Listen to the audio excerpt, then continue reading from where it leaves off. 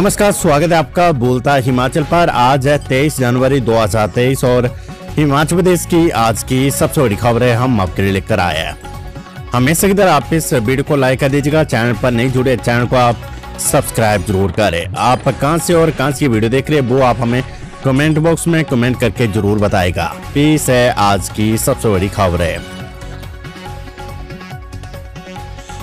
चार सीपीएस को मिला विभागों का दायित्व सीएम और मंत्रियों के साथ किया अटैच। हिमाचल प्रदेश की सुख सरकार में चार मुख्य संसदीय सचिवों सीपीएस समूह लाल बरागटा, राम कुमार आशीष बुटेल तथा किशोरी लाल को विभागों का दायित्व दिया गया है। ये दायित्व मुख्यमंत्री सुखविंदर सिंह सुक्खू की मंजूरी के बाद दिया गया है। दो सीपीएस संजय अवस्थी व सुंदर सिंह ठाकुर को पहले ही विभागों का दायित्व दिया जा चुका है। रविवार को मुख्य सचिव प्रबोध सक्सेना की ओर से जारी आदेशों के अनुसार सीपीएस समूह लाल बरागटा को विधि संस्थीय कार्य तथा बागवानी विभाग राम कुमार को टीसीपी उद्योग और राजस्व विभाग, आशीष बुटेल को शहरी विकास तथा प्राथमिक व उच्च शिक्षा तथा किशोरी लाल को पशुपालन तथा ग्रामीण विकास एवं पंचायती राज विभाग का दायित्व दिया गया है। इन्हें मुख्यमंत्री व संबंधित मंत्रियों के साथ अटैच किया गया है। इसके तहत ब्राक्टा को विधि विभाग के लिए मुख्यमंत्री संस्थीय कार्य विभाग के लिए उद्योग मंत्री तथा बागवानी विभाग के लिए राजस्व एवं बागवानी मंत्री के साथ अटैच किया है। प्रदेश में एक साल के भीतर 500 मेगावाट क्षमता की सौर परियोजनाएँ होगी स्थापित। मुख्यमंत्री सुखविंदर सिंह सुख ने अधिकारियों को वर्तमान ऊर्जा नीति में आवश्यक बदलाव लाने और पाँच मेगावाट क्षमता तक की सभी सौर ऊर्जा परियोजनाएँ आवंटन के लिए खुली रखने के निर्देश दिए हैं। सरकार सौर ऊर्जा संयंत्रों में निवेश भी करेगी। सीएम सुख ने निर्देश दिए कि वर्ष दो हज़ार की अवधि के दौरान प्रदेश भर में 500 मेगावाट क्षमता की सौर परियोजना स्थापित की जाएगी। जिसमें कम से कम 200 मेगावाट क्षमता की परियोजनाएँ हिमाचल प्रदेश ऊर्जा निगम लिमिटेड एच पी की ओर से स्थापित की जाएगी। हिमाचल कांग्रेस केंद्र की मोदी सरकार के खिलाफ खोलेगी मोर्चा, शुरू होगा हाथ से हाथ जोड़ो अभियान। हिमाचल कांग्रेस केंद्र की मोदी सरकार के खिलाफ मोर्चा खोलेगी। कांग्रेस हाथ से हाथ जोड़ो अभियान 26 जनवरी से आरंभ करेगी। ये प्रदेश भर में एक माह तक चलेगा। पार्टी केंद्र सरकार की विफलता को लेकर लोगों तक संदेश पहुंचाएगी। प्रदेश कांग्रेस के सह प्रभारी संजय दत्त ने बताया कि अभियान जिला मंडी के जोगिंद्र नगर से 26 जनवरी को आरंभ किया जाएगा। कांग्रेस के पूर्व अध्यक्ष राहुल गांधी के भाजोड़ यात्रा की कड़ी को आगे बढ़ाते हुए ये अभियान प्रदेश के निचले स्तर तक लाया जाएगा। हिमाचल कर्मचारी चयन आयोग से कर्मचारियों के तबादले पर जाँच एजेंसी नाराज़ बहुचर्चित पेपर लीक मामले के बीच हिमाचल प्रदेश कर्मचारी चयन आयोग के दो कर्मचारियों को शिमला सचिवालय में नियुक्ति देने पर जाँच एजेंसियाँ नाराज़ है। जाँच एजेंसियों की नाराज़गी के बाद आयोग के ओएसटी विशेष सेवा अधिकारी जितेंद्र सांझटा ने सरकार को चिट्ठी लिखी है। इसके माध्यम से सरकार से पूछा कि जाँच प्रक्रिया के बीच दोनों कर्मचारियों को आयोग से भारमुक्त रिलीव करना है या नहीं। सरकार से जवाब मिलने के बाद दोनों कर्मचारियों को आयोग से भारमुक्त किया जाएगा। तब तक दोनों कर्मचारी चयन आयोग में सेवाएँ देंगे। प्रदेश के ट्रक ऑपरेटरों को 31 मार्च तक गुड्स टैक्स जमा करवाने की छूट। राज्य सरकार ने हिमाचल प्रदेश के ट्रक ऑपरेटरों को 31 मार्च तक गुड्स टैक्स जमा करवाने की छूट दे दी है। आज से ये छूट लागू हो जाएगी। जिन संचालकों के ट्रक बिना परमिट के खड़े हो गए भी अब इस छूट के बाद ट्रकों की पासिंग और परमिट बना सकते हैं। इसे लेकर मुख्य संसदीय सचिव चौधरी राम कुमार ने ट्रक संचालकों के साथ बैठक कर उन्हें इसकी जानकारी दी है। उन्होंने संचालकों को आश्वासन दिया कि 31 मार्च से पहले ट्रक संचालकों की सरकार के साथ बैठक कर लंबित गुड्स टैक्स एक मुफ़्त जमा कराने पर सहमति बनाई जाएगी, ताकि भविष्य में ट्रक संचालकों को ये समस्या न आए। संयुक्त किसान मंच की सरकार से मांग, बोले, बजट में बागवानों की मांगों को पूरा करने की घोषणा करे सरकार। किसानों बागवानों के मुद्दों को लेकर संघर्षरत संयुक्त किसान मंच ने मुख्यमंत्री सुखविंदर सिंह सुख को बीस सूत्रीय मांग पत्र भेजकर बजट में मांगे पूरी करने की घोषणा करने की अपील की है। मंच ने मुख्यमंत्री से मांगों पर चर्चा के लिए किसान बागवानों के साथ जल्द बैठक करने की भी मांग उठाई है। संयुक्त किसान मंच के संयोजक हरीश चौहान और सह संयोजक संजय चौहान ने कहा कि पिछली सरकार ने मंच की मांगों की अनदेखी की है। सीमेंट ढुलाई रेट की अधिसूचना पर टीका ट्रक ऑपरेटरों के आंदोलन का अगला रुख। हिमाचल प्रदेश के दारलाघाट और बरमाना में ट्रक ऑपरेटरों के आंदोलन का रुख, सीमेंट ढुलाई रेट की अधिसूचना पर टीका। है पहाड़ी राज्यों के सीमेंट दाम से मैदानी इलाकों के रेट की तुलना से विवाद ज़्यादा उलझा है। हिमाचल जैसे पहाड़ी राज्यों में माल भाड़ा रेट अधिक तय होता रहा है। यानी एक बात तो साफ़ कर देगी कि सरकार ने ट्रक मालकों के आर्थिक हितों की रक्षा की तो आंदोलन थम जाएगा। अन्यथा ये आंदोलन और लंबा खींचेगा। प्रारंभिक शिक्षा विभाग के आदेश स्कूल के समय में भंडारे, विवाह और अन्य आयोजनों में खाना नहीं खा सकेंगे छात्र। सरकारी स्कूलों के छात्रों को स्कूल समय के दौरान भंडारे, विवाह और अन्य आयोजनों में खाना खाने पर रोक लगाई गई है। मामले पर प्रारंभिक शिक्षा विभाग की ओर से जारी निर्देशों में स्पष्ट किए गए कि शिक्षक छात्रों को स्कूल के आसपास होने वाले भंडारे, विवाह और अन्य आयोजनों में खाना खाने नहीं भेजेंगे। स्कूलों में छात्रों को दोपहर का भोजन परोसा जाएगा। मिड डे मील को लेकर विभाग ने नई गाइडलाइन जारी की है। विभाग ने स्पष्ट किया कि यदि इसके बाद भी ऐसे मामले सामने आए तो, तो दोषियों के खिलाफ कड़ी कार्रवाई होगी। रोल नंबर बाईस छात्रों को खाना खाने के लिए बिठाया जाएगा। दरी पर छात्रों को बिठाया जाएगा। इस दौरान स्कूल प्रशासन को हॉल में ही छात्रों को खाना खिलाने के निर्देश हुए हैं। स्कूल के मैदान में बच्चों को खाना नहीं खिलाया जाएगा। स्कूल के किचन के अंदर किसी को भी जाने की अनुमति नहीं होगी। खाना बनाते समय कर्मियों को दाल और सब्जियों को साफ़ कर अच्छी तरह से धोने को कहा गया है। पानी की टंकी को भी महीने में दो बार साफ़ करना होगा। किसी और स्रोत से पानी इस्तेमाल नहीं किया जाएगा। इसके अलावा स्कूलों को मिड डे मील की निगरानी के लिए एक कमेटी गठित करने को कहा गया है। ये कमेटी इस पूरी प्रक्रिया पर नज़र रखेगी। मिड डे मील को लेकर जारी की गई गाइडलाइन के तहत स्कूलों में कीटनाशक दवाइयों पर रोक लगाई गई है।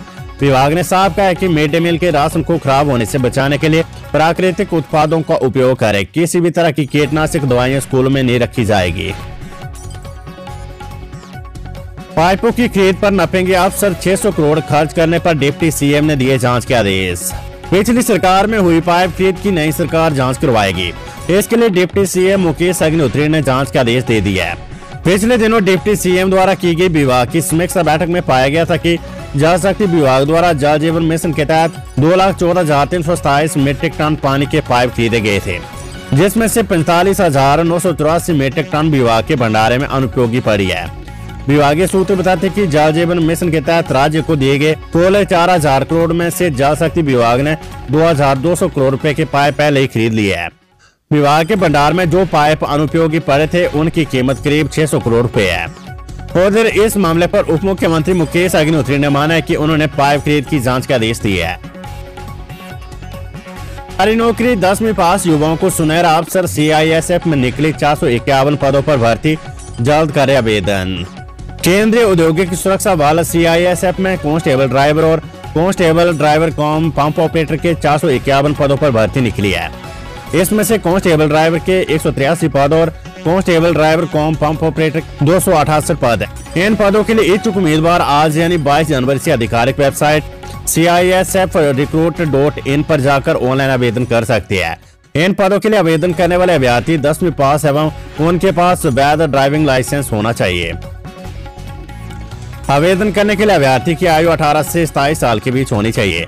इसके अलावा एससी और एसटी वर्ग के उम्मीदवारों को पाँच और ओबीसी वर्ग के उम्मीदवारों को तीन साल आयु में छूट मिलेगी। आवेदन की सौ रूपए फ़ीस रखी गई है? ऐसी एस के उम्मीदवारों से किसी भी प्रकार का आवेदन शुल्क नहीं लिया जाएगा। खबर कुल्लू से इंसानियत शर्मसार कचरे के ढेर में मिली नवजात बच्ची, पुलिस जाँच में जुटी। जिला कुल्लू में इंसानियत को शर्मसार करने वाली घटना सामने आई है। नगर परिषद कुल्लू के तहत हनुमानी बाग में एक नवजात बच्ची का शव कचरे के ढेर में मिला है। नवजात बच्ची को रात के अंधेरे में कोई कचरे के ढेर में फेंक चला गया। रविवार सुबह नौ बजे जब नगर परिषद के सफ़ाई कर्मचारी कचरा उठाने के लिए आए तो, तो उन्होंने यहाँ नवजात को कचरे में पड़ा देखा। मामले की सूचना पुलिस को दे दी गई। इसके बाद पुलिस टीम मौके पर पहुँची और घटनास्थल का जायजा लिया। पुलिस ने घटनास्थल की वीडियोग्राफी और फोटोग्राफी भी की है। इसके बाद शव को कब्जे में लेकर पोस्टमार्टम के लिए कुल्लू अस्पताल भेजा है। यहाँ बच्ची के शव को रखा गया है। छात्रिक पुलिस अधीक्षक आशीष शर्मा ने कहा कि पुलिस ने शव को कब्जे में लेकर पोस्टमार्टम के लिए भेजा है। पोस्टमार्टम रिपोर्ट आने का इंतज़ार किया जा रहा है। नवजात बच्ची को किसने कचरे के ढेर में फेंक कर पुलिस इसकी छानबीन कर रही है? उन्होंने कहा कि नवजात बच्ची को कचरे में फेंकने वालों पर कार्रवाई की जाएगी। किन्नौर के निचार के बारों में खाई में गिरी कार, दो की मौके पर मौत। किन्नौर ज़िले के निचार के एकलव्य स्कूल मार्केट समीप बारो नामक जगह पर एक आल्टो कार दुर्घटनाग्रस्त हो गई है। इस हादसे में कार सवार दो लोगों की मौत हो गई, जबकि दो अन्य लोग गंभीर रूप से घायल हो गया है। घायलों को प्राथमिक उपचार देने के बाद खनेरिया अस्पताल रामपुर के लिए रेफर कर दिया गया है। बिजली बोर्ड कर्मचारियों के जज्बे को सलाम, डोडरकवार में तीन फुट बर्फबारी के बीच बहाल की बिजली। बर्फबारी के बीच बाधित विद्युत आपूर्ति को बहाल करने में विद्युत कर्मी अहम भूमिका निभा रहे हैं। विद्युत कर्मचारी कठिन परिस्थितियों में दिन रात लोगों को सेवाएँ दे रहे हैं। इसी कड़ी में शिमला के दूरदराज क्षेत्र डोडरा कुआर में कुछ बिजली कर्मियों ने तीन फुट बर्फबारी के बीच जाकर बिजली आपूर्ति को बहाल की है। विद्युत कर्मियों के इस जज्बे को मुख्यमंत्री सुखविंदर सिंह सुक्कू ने सलाम किया है और शाबाशी दी है। वही मुख्यमंत्री ने कर्मचारियों को प्रशस्ति पत्र देकर सम्मानित किया है। बैद अपडेट, हिमाचल के सात जिलों में 24 जनवरी को भारी बारिश और बर्फबारी का येलो अलर्ट जारी। हिमाचल प्रदेश में मौसम फिर से करवट बदलने वाला है। मौसम विभाग ने प्रदेश में भारी बारिश और बर्फबारी का पूर्वानुमान जताया है। तेईस जनवरी को प्रदेश के सात जिलों में बारिश और ओलावृष्टि को लेकर अलर्ट जारी किया गया है। वहीं 24 जनवरी को प्रदेश में भारी बारिश और बर्फबारी का येलो अलर्ट जारी किया गया है। ये अलर्ट शिमला, मंडी, चंबा, कांगड़ा, कुल्लू, किन्नौर और लाहौल स्पीति जिलों के लिए जारी किया गया है। भारी बारिश और बर्फबारी को देखते हुए स्थानीय लोगों को पर्यटकों के लिए एडवाइजरी जारी की गई है। ट्रैकिंग पर जाने वाले पर्यटकों को ट्रैकिंग न करने की सलाह दी गई है। बीते दिन हुई बारिश और बर्फबारी के बाद हालात अभी तक सामान्य नहीं हुए हैं। प्रदेश में 200 के करीब सड़कें अभी भी बंद है। ऐसे में प्रदेश के कई क्षेत्रों के लिए संपर्क कटा हुआ है।